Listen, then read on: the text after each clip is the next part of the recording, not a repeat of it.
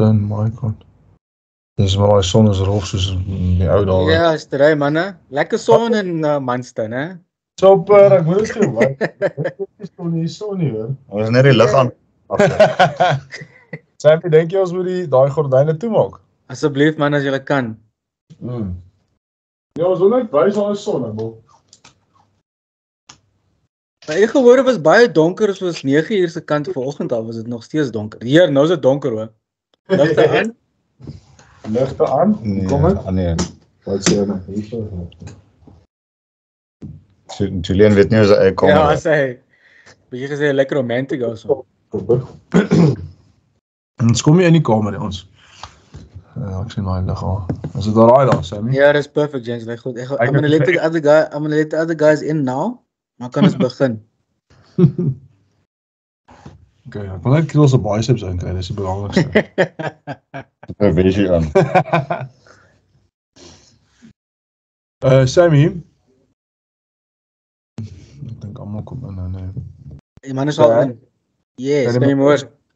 Ja, as dit oukei okay is met almal, as ons in ehm um, 10 oor kan waai, ons um, ding begin kwart oor, so dit gee ons net tyd om af te kom by ons walk toe. As dit Ja, reg that's fine. No problem, no problem. Thanks. All right, gents, uh, can you hear and see us? Or can you see the guys in Munster?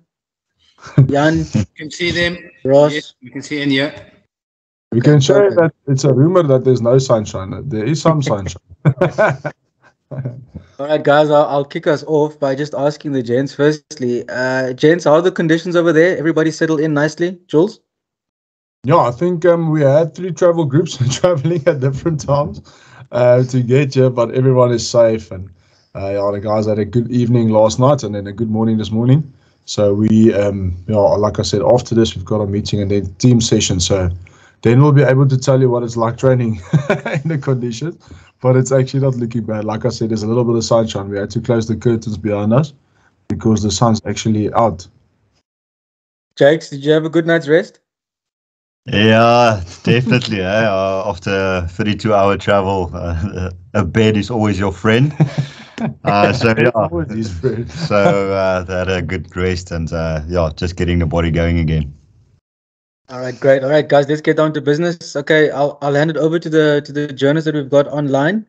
Uh, by raise of hands, um, can we kick it off? Jan, do you want to kick us off? Uh, Hello. Yes, Jan. hold on. You unmute, Jan. Yeah, you're on now. Weer gebeurd. No.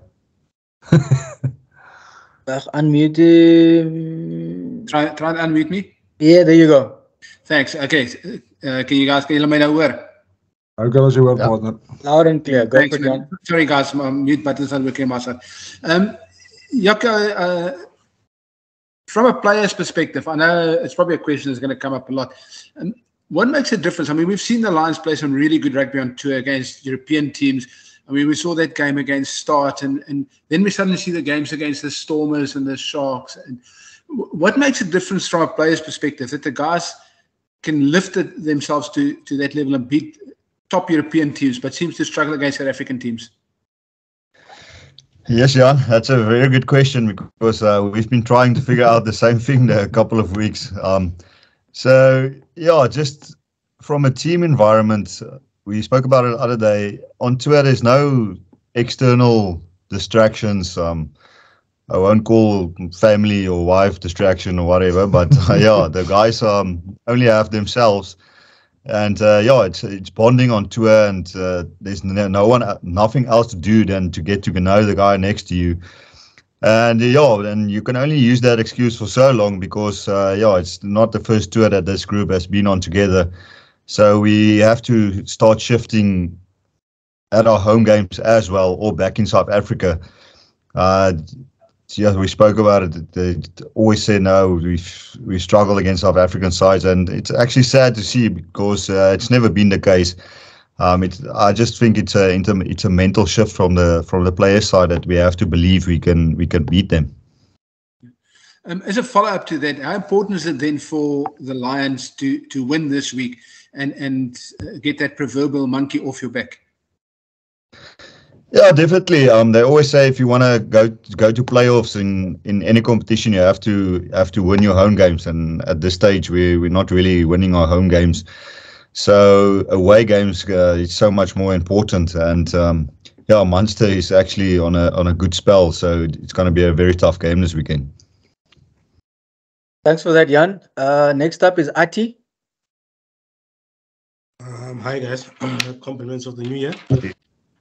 Uh, just wanted to pose this question to you guys as to again uh, following um, Jan's question, I think the first one, as to where do you see the Lions right now in terms of um, the South African franchises um, ecosystem?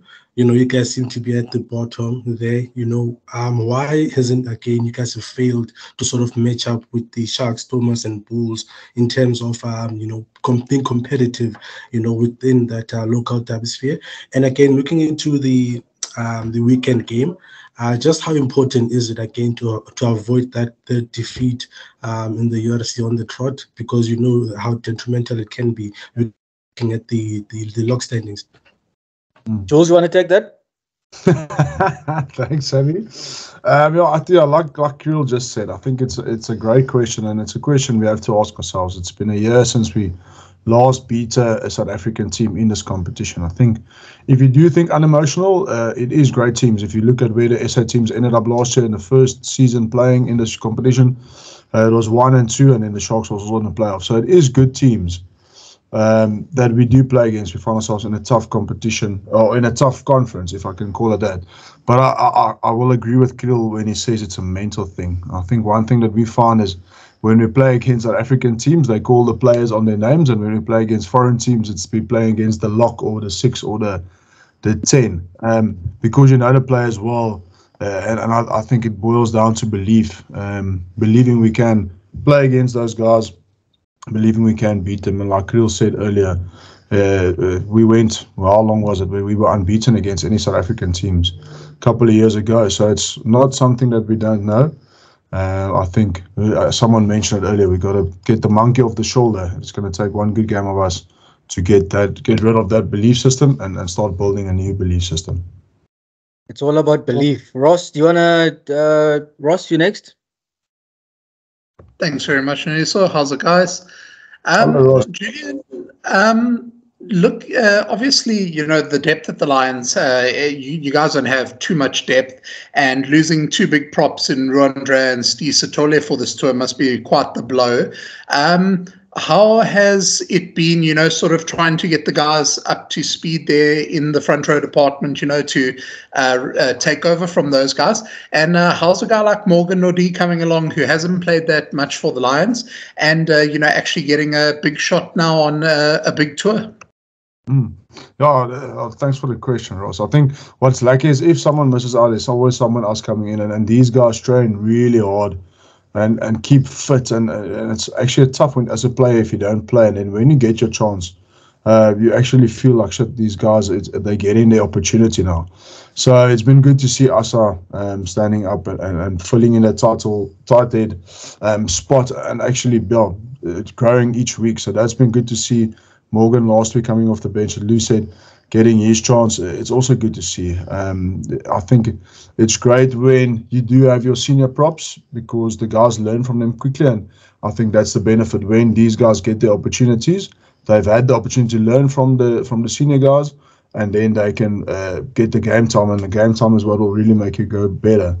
So, uh, and it's a great test for the guys playing in Munster against Munster uh, on tour um, is going to be great. The Munster Pack has, has done well recently. So it's going to be a massive challenge. And, and we all know you don't grow when it's easy, you grow when it's tough. So that's going to be lucky for the guys. It's just to get better and better in these conditions. Thanks. And uh, Sorry, one more from me, Nyani. So, um, Jaco, obviously the guys have mentioned, you know, how tight the log is and how important these games coming up are now. You know, you guys uh, were fifth before the two home, uh, before the two fixtures against South African oppositions. You're now down in 11th. And Munster are on their way up. You know, they beat, uh, they lost by one point against Leinster. They beat Ulster away. Um, so, very tough game how uh, are the guys feeling in the camp and are they really fired up to try and uh, get another one over Munster like you guys did last year, although that was at home? Yeah, Ross, thank you. It's um, it's a really tough one. I I really believe um, yeah, throughout my career, I, I believed if you if you look at the log too much, you're gonna put yourself under pressure. As you just said, uh, it's a tight log. We went from fifth to eleventh in a, in a in a matter of two weeks. So for us, we have to take it week by week, and and uh, we always said, no matter where or when we played, if you take it week by week, game by game, the the log will look after itself. And uh, I think if you get sidetracked by the log, um, yeah, you're gonna not focus on the on the job at hand.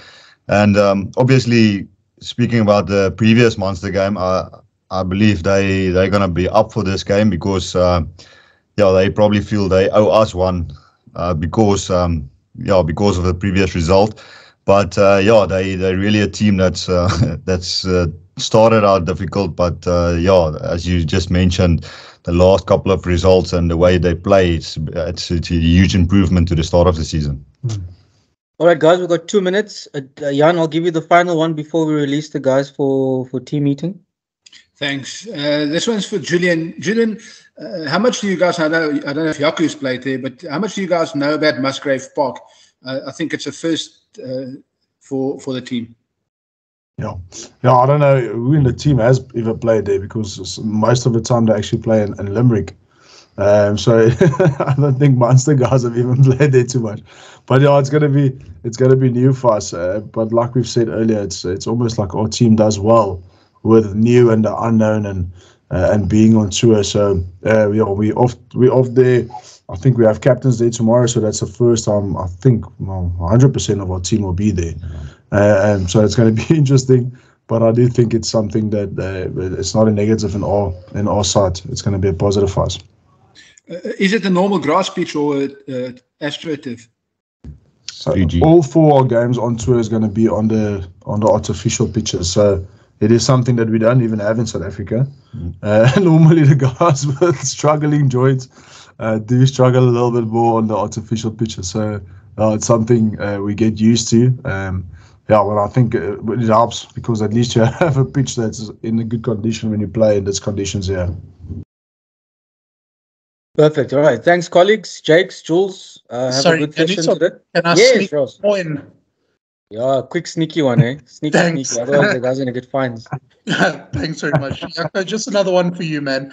Um, with you guys having quite a long injury list, um, how important has it been for the more experienced guys like yourself, like Willem, um, who've had this experience in Europe before and that kind of stuff, uh, to sort of help lead the guys. Um, we've got a lot of youngsters in the group, and then you've also got a guy like uh, JC who's coming from the Blitzboks for the first time now. Um, you know, how's it been from your guys' side on that perspective? No, definitely. Um, we all knew it's going to be a tough competition with the with the European and the Challenge Cup um, that's uh, to join the URC this year. And uh, yeah, with a couple of injuries, your depth has really been tested. So just to keep the guys calm and to make sure the whole squad is on the same page and know what to do, when to do it. Um, I believe if you're if your detail is there and uh, the system supports the players, uh, the, it will make it much easier for the younger guys to to slot in and play a better game. Uh, yes, uh, as we saw, Jared came through, uh, played a lacquer game this weekend. Can't wait to see JC play.